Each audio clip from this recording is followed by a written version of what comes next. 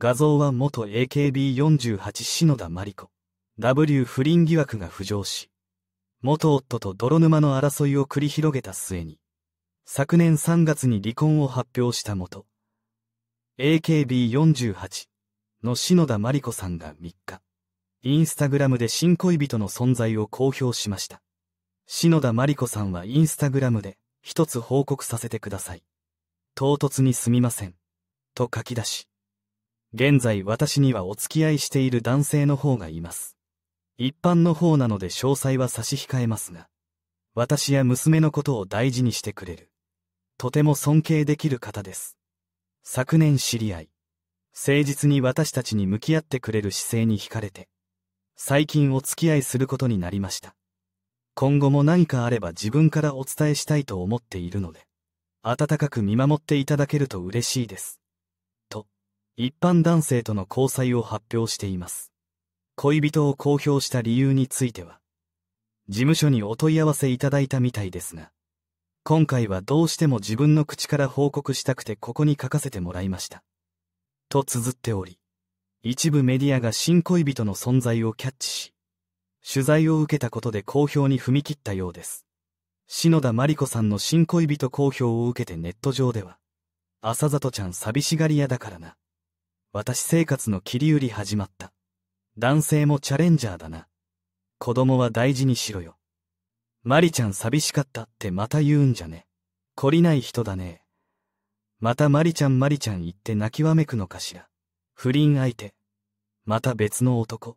お子さんの親権を元夫にして。新しい男がお嬢さんに悪さしないか心配。子供いてすぐ彼氏作る女性は自分大好き。そしてまた失敗するの繰り返し。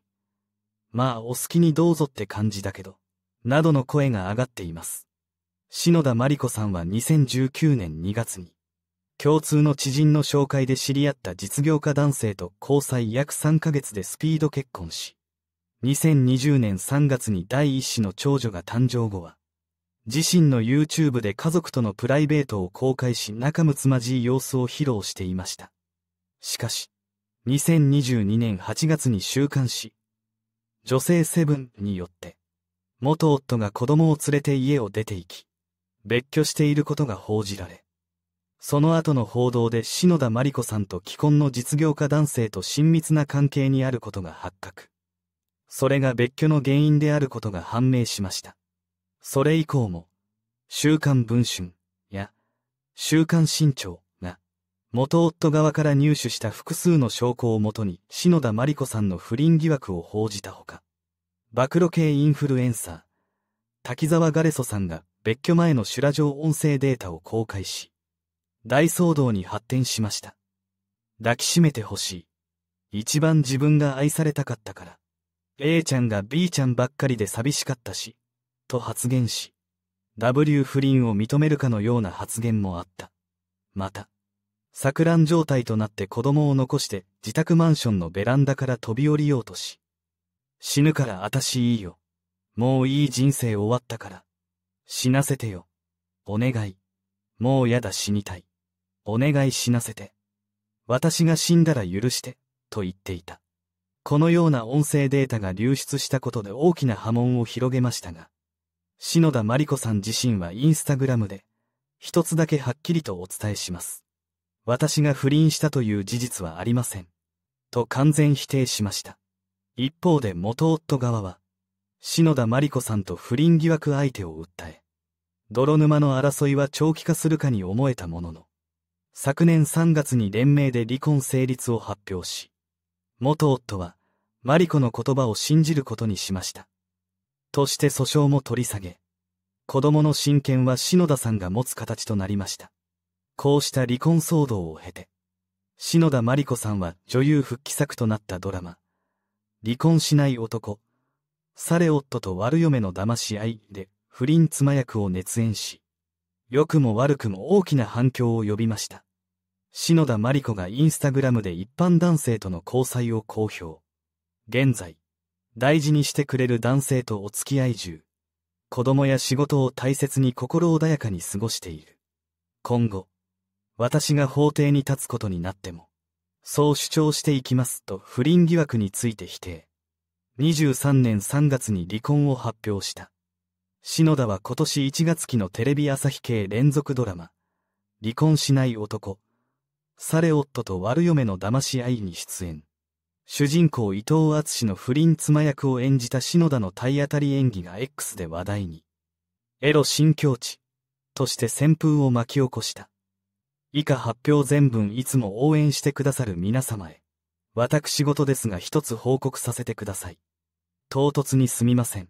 現在私にはお付き合いしている男性の方がいます。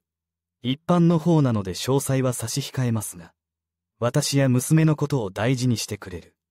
とても尊敬できる方です。昨年知り合い、誠実に私たちに向き合ってくれる姿勢に惹かれて、最近お付き合いすることになりました。今の私は子供のこと、仕事のことを大切に心穏やかに過ごしています。今後も何かあれば自分からお伝えしたいと思っているので、温かく見守っていただけると嬉しいです。事務所にお問い合わせいただいたようで、今回は自分の口から報告したいのでここに書かせてもらいます。取材していただいたのに、記者の方に申し訳ない気持ちでいっぱいですが、私のわがままを許してください。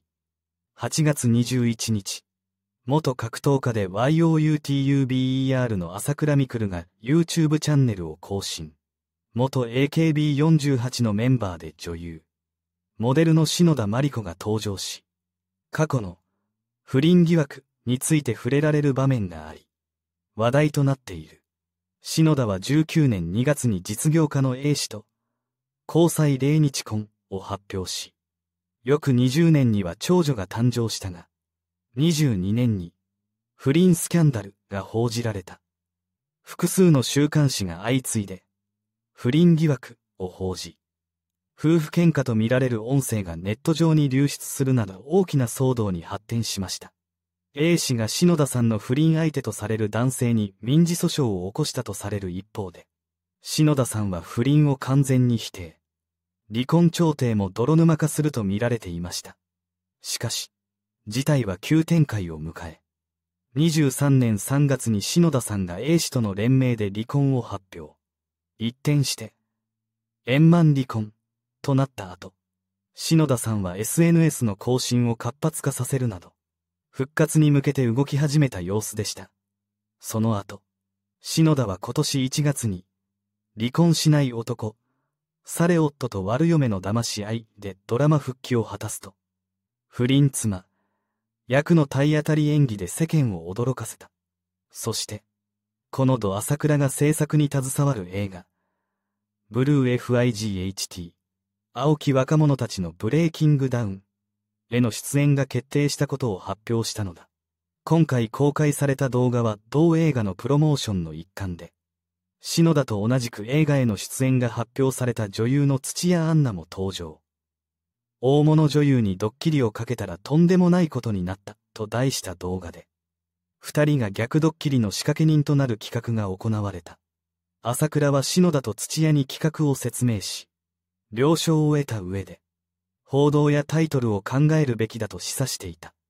せ、やは不適切な発言をしていたが、対談が始まると、篠田に不倫の話題を振られ、土屋が激怒し現場は混乱した。篠田と土屋は別室でモニタリングをし、篠田が号泣演技を見せ、せ、矢に謝罪させた後、ネタばらしを行った。視聴者からは、元神セブンが落ちたもんだ。こんな YouTube に出演とは、などという声が X で上がっている。